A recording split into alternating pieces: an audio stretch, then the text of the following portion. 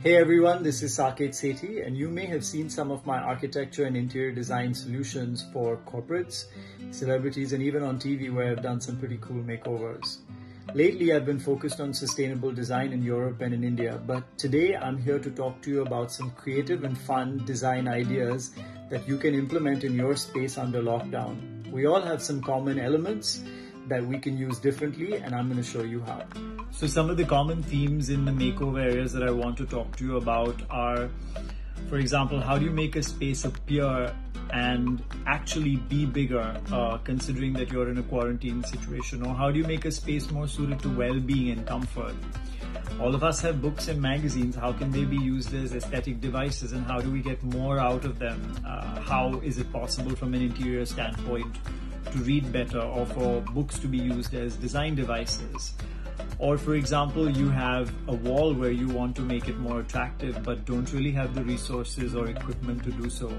Let me show you how you can do this and some more things in a seven part series I call Quarinteriors. I have to admit, I've been watching a lot of TV and I was actually taken in with the idea of creating a super comfortable TV watching sectional. Now, as you can see, I only have a two seater sofa, so I put together some other elements in my space to create this TV watching section. Take a look.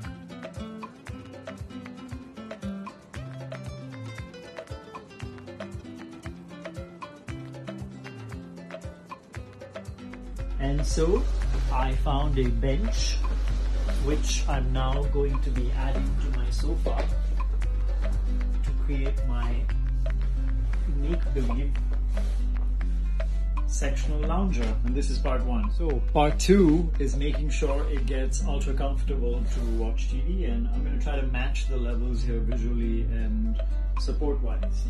So